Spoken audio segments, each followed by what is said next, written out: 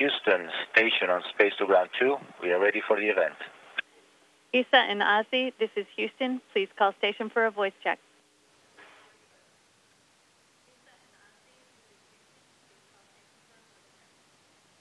Thomas Reiter calling from the ISS, Foconi- this is Thomas Reiter calling from the Focconi room in the Vatican. How can you read me? Uh, this is International Space Station. We read you loud and clear.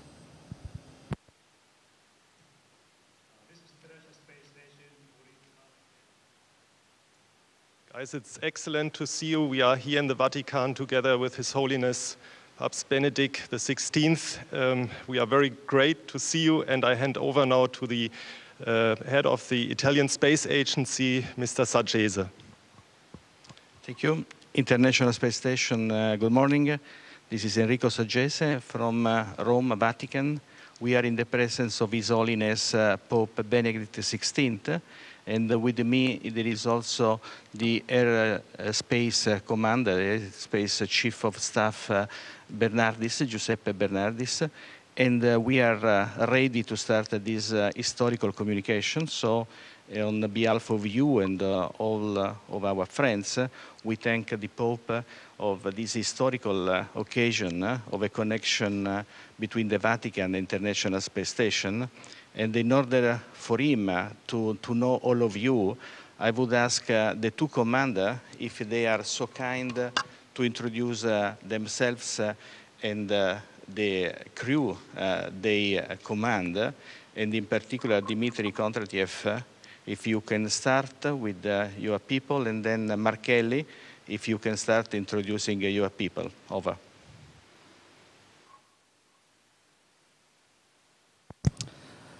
Uh, thank you. We copy all, and uh, uh, we'll start with the introduction of the space station crew, and then uh, Mark Kelly will introduce uh, his crew.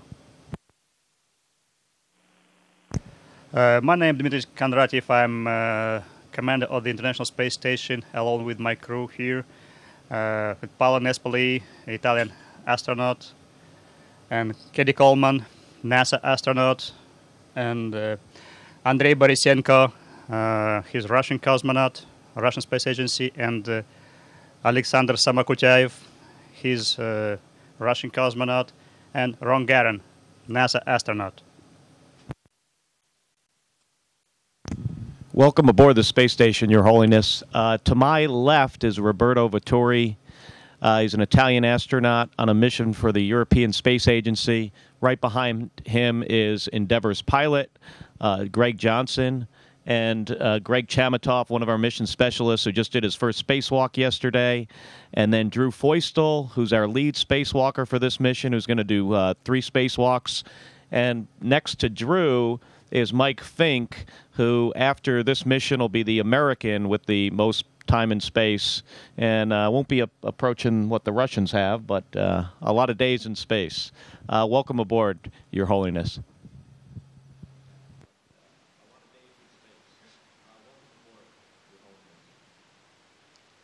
Thank, you very much for your introduction. Then uh, I'll give the floor to His Holiness, who would like to uh, say a few words uh, for all of us and uh, maybe some question for some of you. Thank you, over. Dear astronauts, I'm very happy to have this extraordinary opportunity to converse with you during your mission. I'm especially grateful to be able to speak to so many of you as both crews are present on the space situation of this time. Humanity is experiencing a period of extremely rapid progress in the fields of scientific knowledge and technical applications.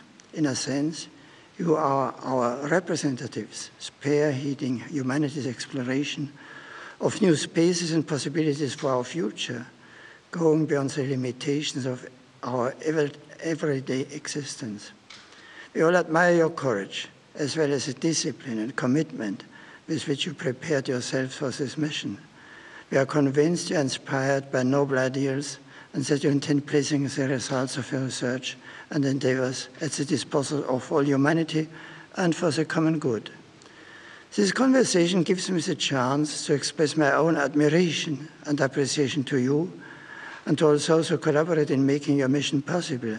and to add my heartfelt encouragement to bring it to a safe and successful conclusion. But this is a conversation, so I must not be the only one doing the talking.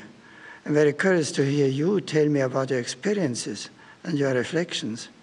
If you don't mind, I would like to ask, to ask you a few questions. First question. From the space situation, you have a very different view of the Earth. You fly over different continents and nations several times a day. I think it must be obvious to you how we all live together on one Earth and how absurd it is that we fight and kill each one. I know that Mark Kelly's wife was a victim of a serious attack, and I hope her health continues to improve. When you are contemplating the earth from up there, so you ever wonder about the way nations and people live together down here, about how science can contribute to the cause of peace? Well, thank you for uh, uh, the kind words, Your Holiness, and thank you for mentioning my wife, Gabby.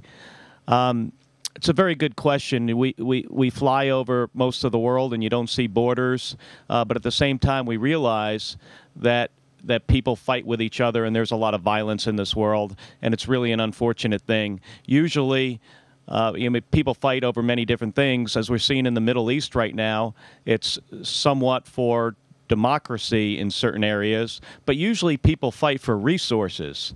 Uh, and it's interesting in space, uh, uh you know, on, on Earth, uh, often people fight for energy. Uh, in space, we use solar power and we have fuel cells on the space shuttle, but it's on the space station. It, it's um, you know the science and the technology that we put into the space station to develop a solar power capability gives us pretty much unlimited amount of energy. And if those technologies could be adapted more on Earth, we could possibly reduce some of that violence.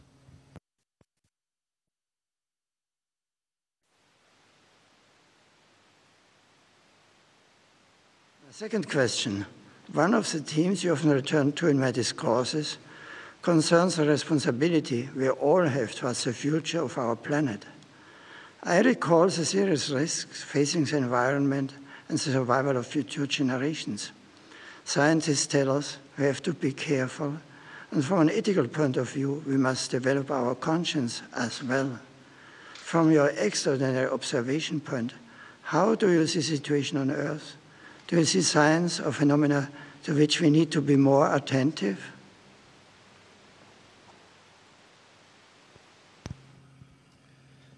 Well, Your Holiness, it's a, it's a great honor to speak with you. And you're right, it really is uh, an extraordinary vantage point we have up here. On the one hand, we could see how indescribably beautiful the planet that we have been given is. But on the other hand, we can really clearly see how fragile it is. Uh, just the atmosphere, for instance, the atmosphere, when viewed from space, is paper thin. And to think that this paper thin layer is all that separates every living thing uh, from the vacuum of space and all that protects us is really a sobering thought.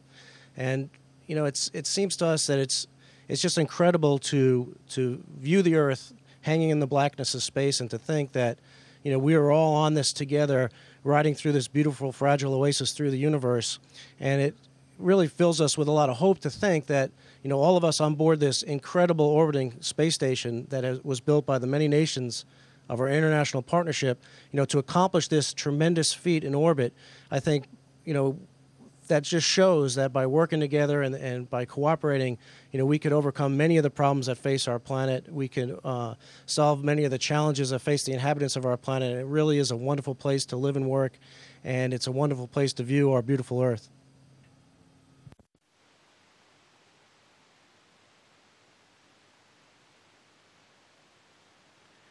My third question the experience you are having right now is both extraordinary and very important, even if you must come back down to earth like all the rest of us. When you do return, you will be much admired and treated like heroes who speak and act with authority. You will be asked to talk about your experiences. What will be the most important messages you would like to convey to young people, especially who will live in a world strongly influenced by your experiences and discoveries.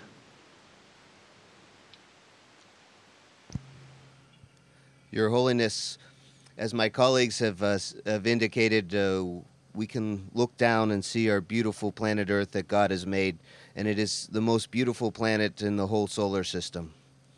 However, if we look up, we can see the rest of the universe, and the rest of the universe is out there for us to go explore. And the International Space Station is just one symbol, one example of what human beings can do when we work together constructively.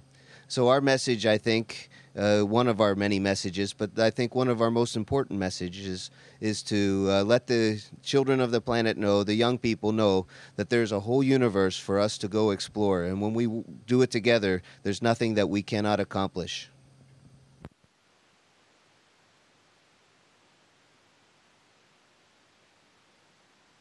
My first question Space exploration is a fascinating scientific adventure. I know that you have been installing new equipment to further scientific research and the study of radiation coming from outer space. But I think it is also an adventure of the human spirit, a powerful stimulus to reflect on the origins and on the destiny of the universe and humanity. Believers often look up at the limitless heavens and meditating on the creator of it all, they are struck by the mystery of his greatness. Why the medal I gave Robert as a sign of my own participation in your mission represents the creation of man, as painted by Michelangelo in the Sistine Chapel.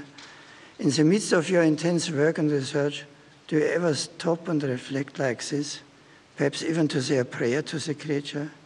Or will it be easier for you to think about these things once you have returned to Earth?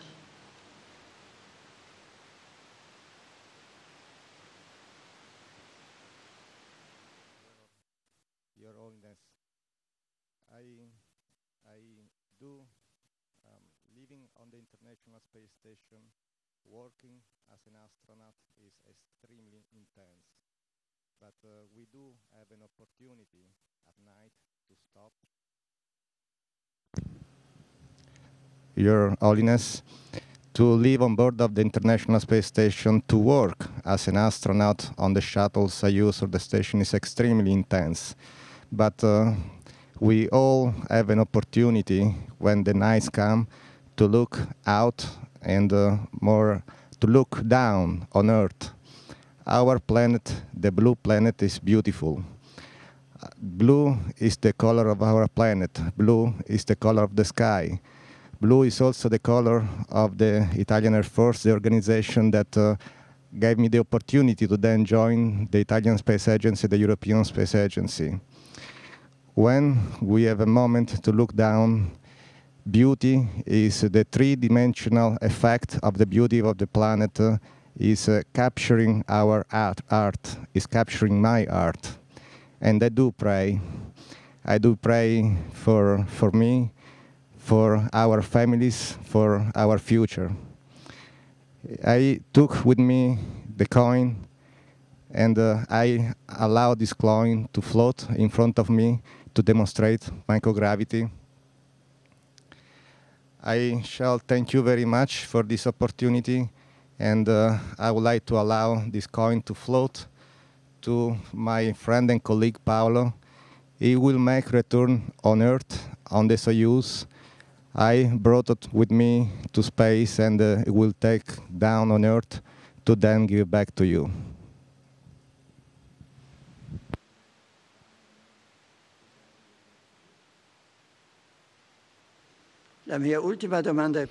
My last question is for Paolo. Dear Paolo, I know that a few days ago, a few days ago, your mom has left you, and in a few days you will come back home. You will not find her waiting for you. We're all close to you. Me too, I have prayed for her. How, how have you been living through this time of pain on the International Space Station? Do you feel isolated and alone? Or do you feel united amongst ourselves in a community that follows you with attention and affection? Santo Padre, Holy Father, I felt your prayers and everyone's prayers arriving up here. We're outside the world, we orbit outside the earth, and we have a vantage point to look at the earth and we feel everything around us. My colleagues on board the station, Dimitri, Cady, Ron, Alexander, and Andrei, were very close to me at this important time. For me, a very intense moment as well as my brothers and sisters, my uncles, my aunts, my relatives were close to my mom in her last moments.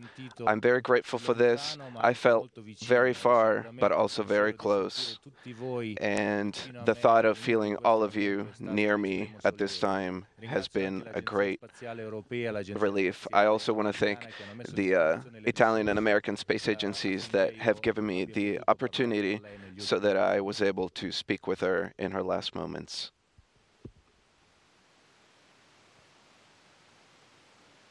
Dear astronauts, I thank you warmly for this wonderful opportunity to meet and dialogue with you. You have helped me and many other people to reflect together on important issues that regards the future of humanity. I wish you the very best for your work and for the success of your great mission at the service of science, international collaboration, authentic progress, and for peace in the world.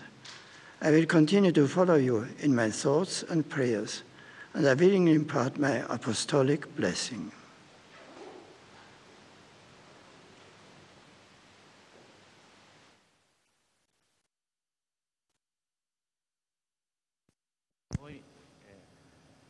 And we all um, would like to thank you, Your Holiness, uh, for your kind, for your kind words.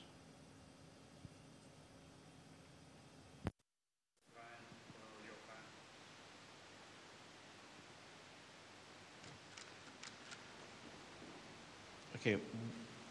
Have a nice and uh, happy continuation of the work you have done. Thank you very much. Bye.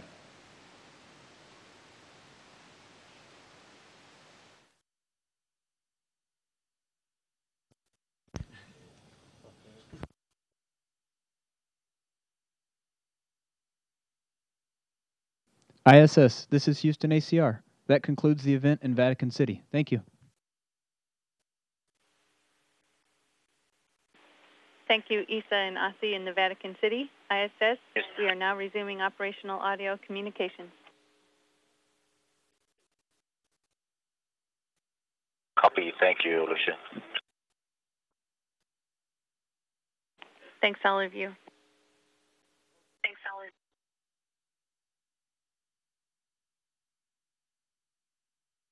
That again was the 12 members of the combined STS 134 and Expedition 27 crew talking with uh, Pope Benedict XVI from the Vatican. All 12 members, including uh, Commander Mark Kelly and pilot Greg Johnson, as well as uh, mission specialist Mike Fincke and Drew Feustel, Greg Chamitoff, and Italian mission specialist Roberto Vittori. And on the Expedition 27 crew side, Commander Dmitry Kondratiev and uh, flight engineers Cady Coleman, Andrei Borisenko, Alexander Samokutyaev, Ron Garan, and Italian flight engineer Paolo Nespoli.